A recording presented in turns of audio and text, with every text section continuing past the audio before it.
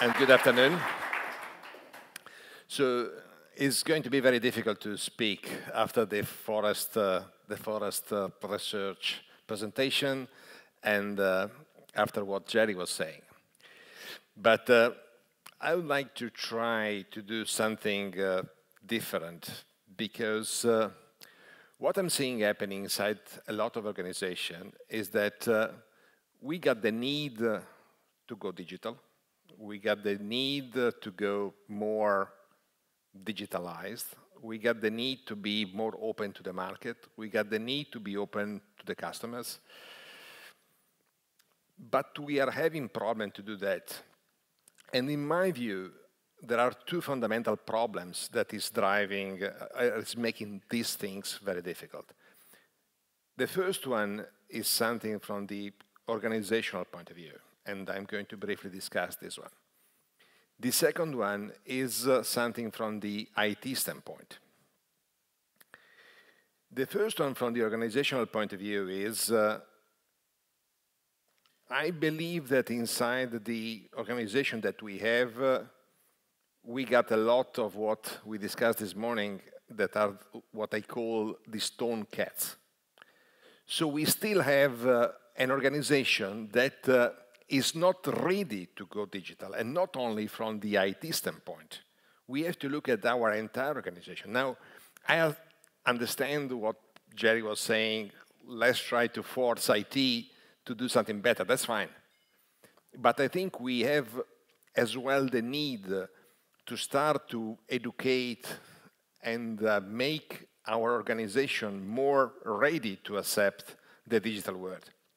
At this moment, the concept of changing is a concept that I see very, very, very difficult inside the organization.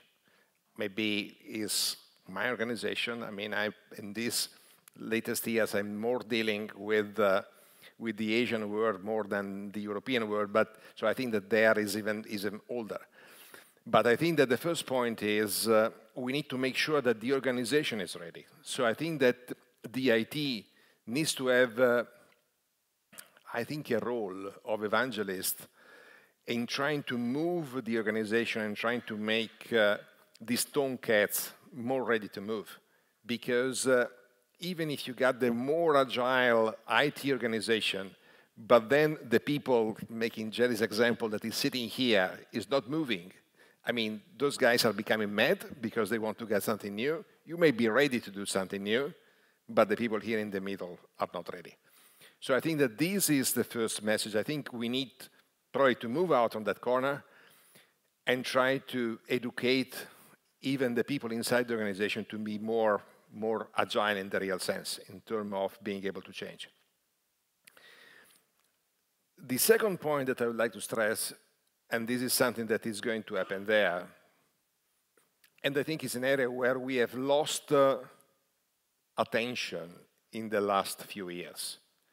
Because in the last few years, what was happening was that uh, we keep uh, listening to the Forrester people that says we need to go digital. So let's go embrace these poor guys at this end. But what is the situation that we got at that end? Are we doing our homeworks properly to make sure that the IT part that we are getting is clean? We won't be able to do anything digital, anything new, anything agile, anything fast if our homework here has not been done. And I'm seeing a lot of IT organizations around the world, and I don't see the things evolving or getting better. So something very simple point is how many systems are we running? How many interfaces do we have in our system? How many different codes are we managing? How many different CRM do we got? If we are not cleaning up the mess that we got at home, we will never be able to do anything digital because the freaking guys at this end are going to ask one app that is able to enter an order based on one code. And if you got people at this end that got still 10 different ways to, to managing codes inside the organization, something very simple, you won't be able to do anything freaking digital. And it's not because you don't want to be agile. You may be, you are perfectly okay to be agile, but your system there is not ready. So I think that what I call here in my presentation, I don't know if I'm able to press the right button here, is what we call the back to the basic.